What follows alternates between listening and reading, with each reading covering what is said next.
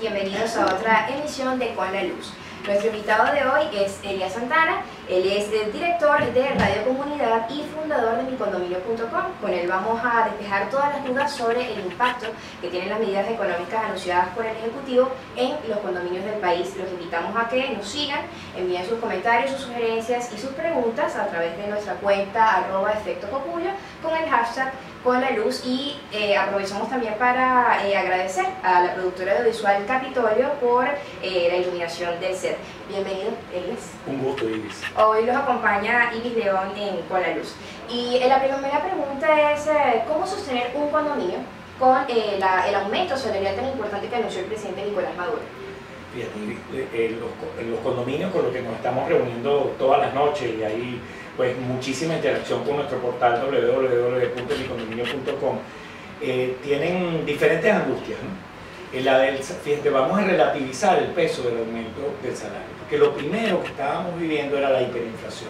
Y con la entrada en vigencia del nuevo Fondo Monetario se produjo una devaluación, una mega devaluación del 96% del bolívar. O sea que tú prácticamente puedes comprar muy poco con un bolívar.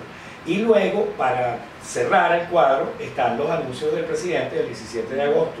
Todavía no se ha publicado la Gaceta, o sea, está a dos días de entrar en vigencia el anuncio que se ha hecho y nosotros no conocemos la letra pequeña, no conocemos cuáles van a ser los detalles, cómo tomar decisiones, es algo muy complicado. Pero además, no se ha dejado claro si va a haber o no va a haber un incremento en el bono de alimentación, que es algo que para los condominios como patronos también es muy, muy importante. Los condominios tienen una característica, su, partida fundamental es la de personal, el personal tiene nombre y apellido, es la conserje, es la trabajadora residencial. Entonces estamos muy preocupados, llenos de incertidumbre por la hiperinflación, por la mega devaluación y ahora por los aumentos de salario sin tener clara la letra pequeña y sin que se haya hecho claro lo del bono de Y en medio de este contexto de incertidumbre, una de las propuestas de micondominio.com es que el Ejecutivo asume el pago de nóminas de eh, los trabajadores residenciales. Sin embargo, hay algunas personas que temen porque eh, consideran que esto significaría la intervención del gobierno en la propiedad privada. Eh, ¿Qué le responde a estas personas que tienen esta preocupación y si existe realmente un riesgo real? Están previstos los condominios de entrada, pero como los condominios llenan los dos requisitos que anunció el vicepresidente del área económica, que es estar inscritos en el Seguro Social, lo estamos, lo pisamos por nuestra consejería, y tener un registro de información fiscal, estar registrados en el señal, los condominios en su mayor en el mayor número lo cumplen con estos requisitos. Entonces queda a decisión de cada condominio. Hay condominios en sectores populares, condominios de clase media, de clase media alta. Cada quien, según sus circunstancias, aprovechará o le dirá que sí a este ofrecimiento del Ejecutivo Nacional o dirá que no e incluso lo adversará y lo criticará como una forma de que el gobierno nacional quiera intervenir en la vida de los condominios. Cada quien tomará su decisión. Para mí fue muy importante como guía, como referencia, lo que hizo Fede Cámara. El presidente de Fede Cámara anunció que cada uno de, cada uno de los afiliados, cada una de las empresas unidas a Fede Cámaras tomará la decisión. La información que están pidiéndole a los trabajadores, porque quien se registraría es el trabajador residencial. La información que se le está solicitando en el portal Patria a los trabajadores es la misma que el Ejecutivo tiene en cuanto al Seguro Social, en cuanto al Consejo Nacional Electoral o el Registro Civil. Este, estamos frente a un gobierno arbitrario, un gobierno que toma decisiones ajenas al marco jurídico, que no respeta el ordenamiento constitucional, que desconoce a la Asamblea Nacional. Yo no creo que ellos han diseñado esto del subsidio para intervenir en la vida de los condominios, porque es que cuando lo deseen lo pueden hacer, una simple legislación de la Asamblea Nacional Constituyente, que es ilegítima, que no es reconocida por la comunidad internacional, pero este gobierno podría hacerlo. Así que aquellos condominios que deseen tomar esta opción, lo pueden hacer. Eso es como las personas que dicen, ¿te inscribes o no te inscribes en el carnet de la patria?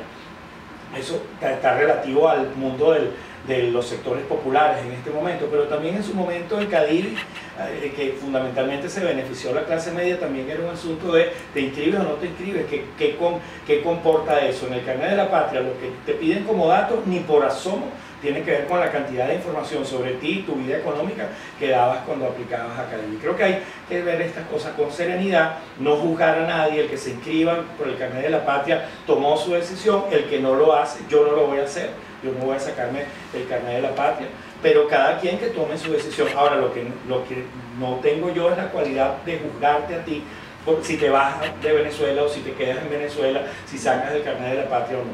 Creo que debemos confluir todos y buscar los espacios de coincidencia. El gran espacio de coincidencia lo dicen todas las empresas encuestadoras. Queremos un cambio de gobierno. Todos los economistas que han ido a nuestros encuentros con las comunidades les recomiendan a los condominios que relativicen la importancia y el peso del tema prestacional porque lo importante es la hiperinflación, cuánto nos va a costar un bombillo, cuánto nos va a costar una bolsa negra de basura, un litro de desinfectante, cuánto va a significar para nosotros eh, reparar un ascensor o un desperfecto que tenga la bomba o la puerta eléctrica. Entonces, focalizarnos mucho en eso.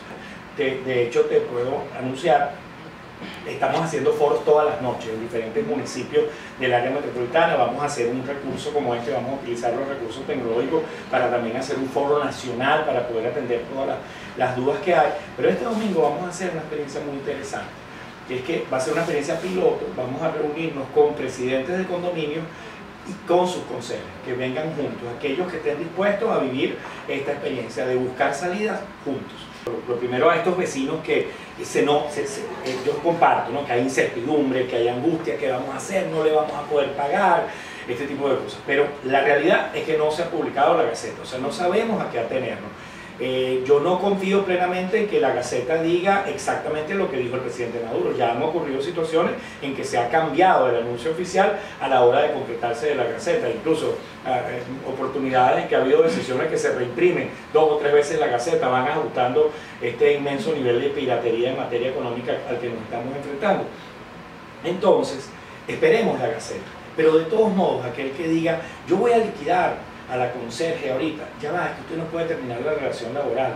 Usted se está arriesgando a que ese conserje vaya a la inspectoría del trabajo y venga, usted la despidió y venga con un reenganche, pero ya se produjo una fractura emocional en las relaciones interpersonales. Por eso es que lo mejor es que tú le digas a la conserje, mira, esta situación está ruda, ¿cómo vamos a hacer para pagarte los 180 millones al mes? ¿Cómo vamos a hacer con pasas de eh, un fondo de prestaciones, pasa de 50 millones de bolívares a mil millones de bolívares. ¿Cómo va a ser un condominio?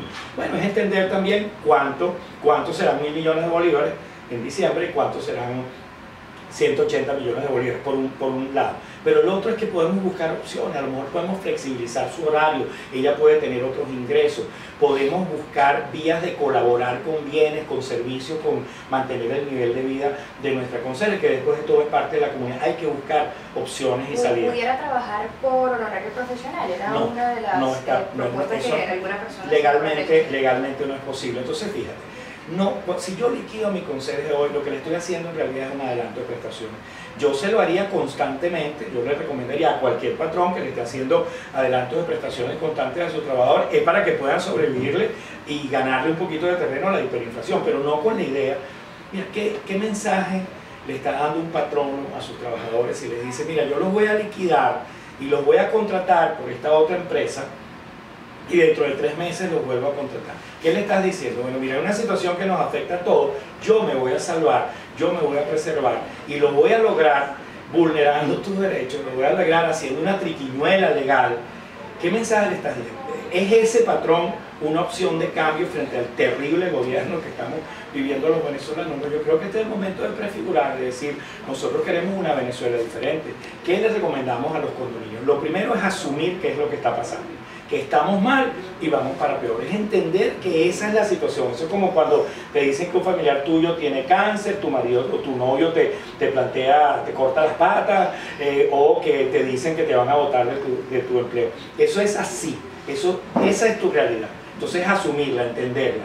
Y recorrer el edificio, tanto a los vecinos como a la planta física, con otra mirada la mirada de la planta física es cómo yo puedo ahorrar, que era la pregunta que nos hacían, y cómo puedo hacer más productivo el edificio. ¿En qué cosas puedo ahorrar? Con programas de reciclaje puedo ahorrar, de hecho hay varias experiencias en marcha, bolsas negras de basura.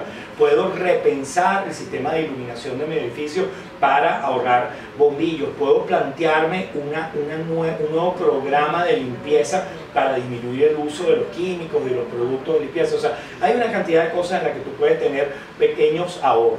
Pero luego la azotea la fachada del edificio, la sala de fiesta, el estacionamiento, las áreas comunes pueden transformarse en productivas. Qué útil es para la finanzas de un edificio que si tú lo visualizas así, logres un, un acuerdo con una empresa de telefonía celular por ejemplo, para tener las antenas, o con una empresa de publicidad para que una de tus fachadas pueda ser este, una valla publicitaria, o que en tu sala de festejo tú puedas hacer tareas dirigidas, biodanza, pilates, yoga, o una vendimia. En Maracaibo están haciendo las vendimias dominicales, gana el condominio porque cada vecino que monta un kiosco, una mesita, le hace un aporte al condominio, pero además los mismos vecinos que venden sus productos, que ofrecen sus servicios, ellos también tienen un aumento de los ingresos y eso los potencia para pagar el aviso de cobro, o sea, el condominio puede verse como más productivo.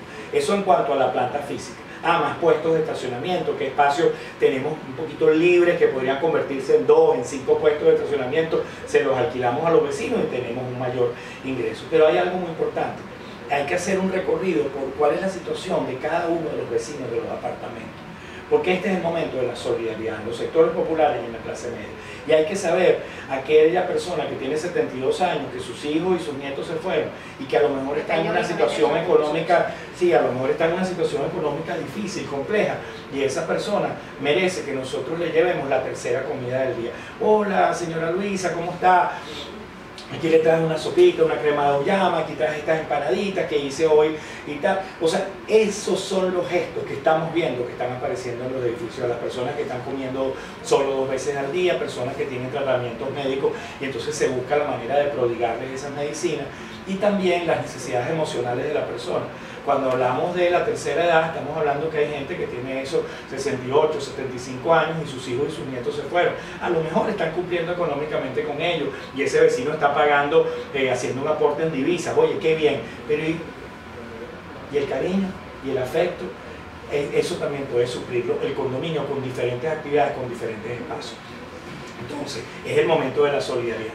Luego veamos otras fuentes de ingreso que puede tener el condominio. Y la fundamental tiene que ver con la diáspora. Eh, hay, en cada edificio hay dos, hay tres, hay cinco apartamentos que están desocupados, son familias que se han ido completas y que están instaladas en otro país. Y al estar instaladas tienen una capacidad de, uno, cumplir con sus obligaciones en Bolívar, es decir, pagar el aviso de cobro en Bolívar como lo pagamos todos los que estamos aquí en Venezuela. Pero segundo, en hacer aportes especiales, que por cierto están previstos en la ley de propiedad horizontal, la, ley faculta que IBIS, en una situación concreta, ella tiene los fondos, repara lo que hay que reparar y eso contablemente se asienta para nosotros hacerte un reintegro de lo que aportaste. Reintegro que en el caso que tú mandes 300 dólares desde Madrid o, o 400 dólares desde Miami para reparar los ascensores, para ti a lo mejor 300 dólares es, es, una cifra manejable porque ya estás instalado en otro país, sabes que nosotros estamos guapeando en el edificio, sabes que te estamos cuidando tu propiedad, que no te la invadan y que estamos manteniendo el valor de tu propiedad, haces ese aporte cuando Venezuela cambie, que está en nuestro destino cambiar y florecer económicamente, te vamos a reintegrar ese dinero y mientras tanto tu propiedad va a estar bien cuidada. Eso está ocurriendo en muchos condominios. Gracias, gracias Iris. por acompañarnos, gracias a todos por seguirnos y gracias a la productora Capitolio por la iluminación del set. Eh, los acompañó y León, hasta la próxima.